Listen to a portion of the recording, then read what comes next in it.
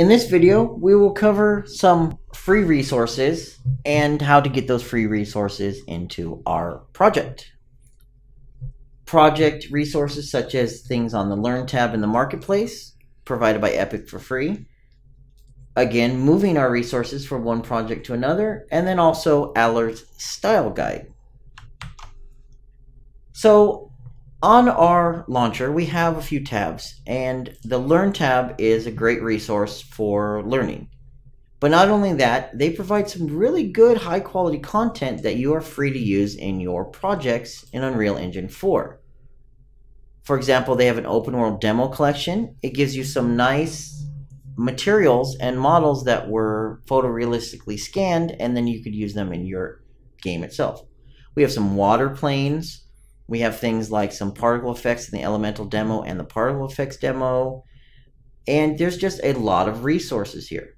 In addition to that, you also have the content examples, which not only is a great learning resource, there's a lot of good systems and things set up in here that you can use in your own projects. Now, in addition to the Learn tab, we have the Marketplace. Now, for the most place, the Marketplace has content that you need to pay for. However, it's not only stuff, if his thing would cooperate, it wouldn't be an issue here. There we go. The marketplace is not only stuff that you have to pay for, there are some free things in here as well. For example, if we look for the game textures, uh, I don't know if it's one word or not, I guess we'll find out. Uh, game texture. Uh, nope, game texture, one word. Nope. Okay. Anyways, there is a texture pack in here that is submitted free from the game. oh, you know what? I think it's in the. I wonder if it's in. Bear with me. You know what? It might actually be in the Learn tab.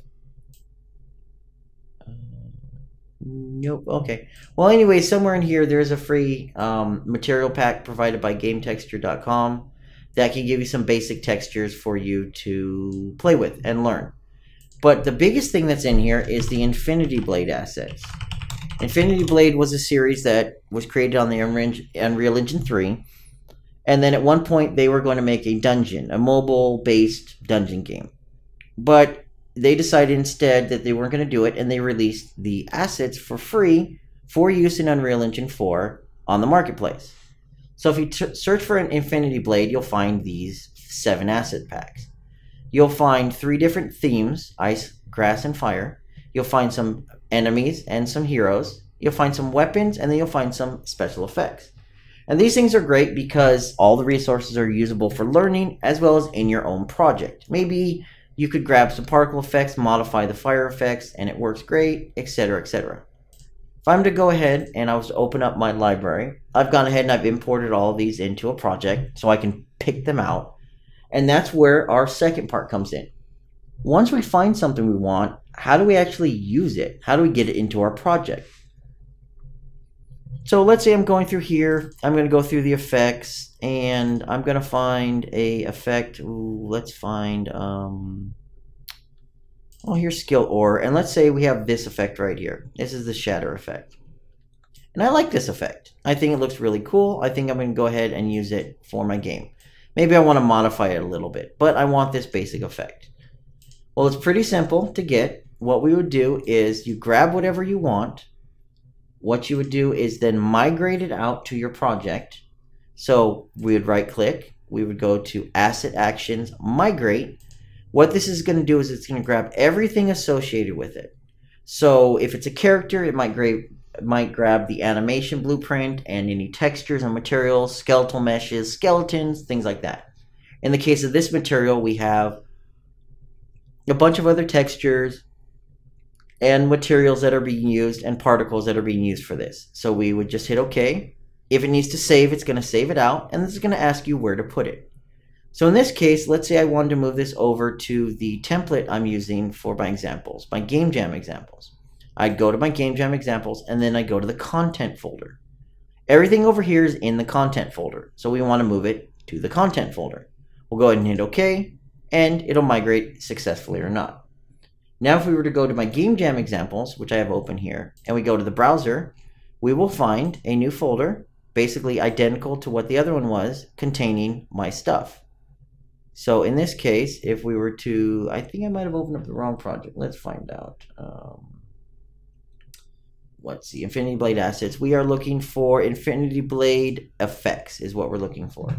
So if I was to open up my project itself here, and uh, do, do, do, Children Explorer, Game Jam content. Yeah, see, so I, oh yeah, because again, yep. So slightly important to make sure you open up the correct project. I actually have the wrong Game Jam project open right now.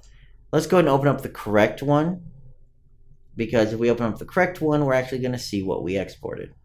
So once this one opens up, it's going to show our project, and then we will find in there the Infinity Blade Effects folder, what we were supposed to find before. And you'll find everything that's required is pulled out. We knew that one was here under Skill Ores, and now I go ahead and drop it into the game like this, you can see the effect came through perfectly fine. We have our effect that we can open up, we can edit it, we can do whatever we want with it, and all the associated assets that went with it all of these meshes, all of these other particle effects, they all came through fine. And that's how you could do it from one project to another. Things to note, you can only really go across to the same major version or up. You cannot go backwards. Once something is in a version, that's basically the version it's marked as. So, for example, if I created something or I wanted something from a project in 4.14, 14 is the basically the major version that I care about. I major, minor, yeah, I guess technically it would be minor, but dot 14 is what I care about. If I wanted to take that asset and migrate it out to a project that's dot 15, it'll work fine. If I want to go backwards and put it into something that's dot 13, it's not going to work.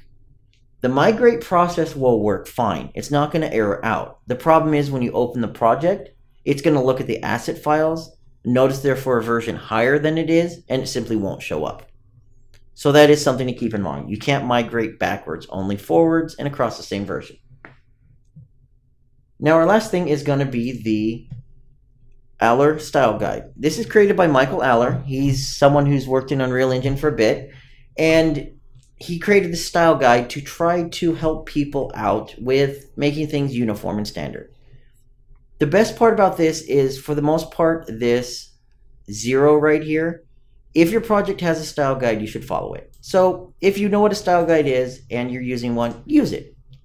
But if not, a style guide is a way to keep things uniform and basically the same across all of your content. If you think of it in terms of art, a style guide may be, for example, always using yellow as your background for all of your assets because that's your theme. It's your style. For Unreal Engine, it's for basically your naming, your directory structure, and blueprints. So in this case, if you're going to name, for example, a static mesh, it should start with S or SM.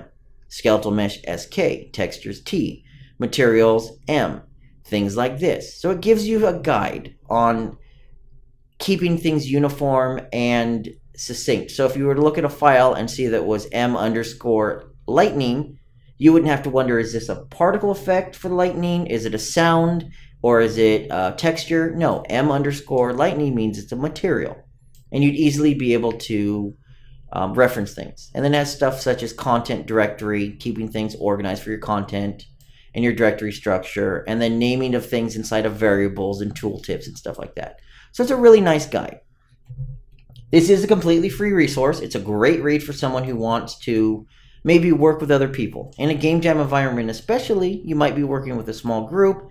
If you keep things organized and styled, it'll make things simple. You'll prevent conflicts physically and um, in between with the project itself and with other people, and you'll you'll be off to a good start. You'll be ahead of other people without a style guide.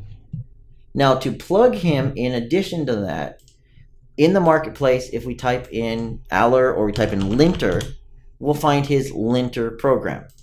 Basically, this is a version of the style guide, but in plugin format inside of the engine.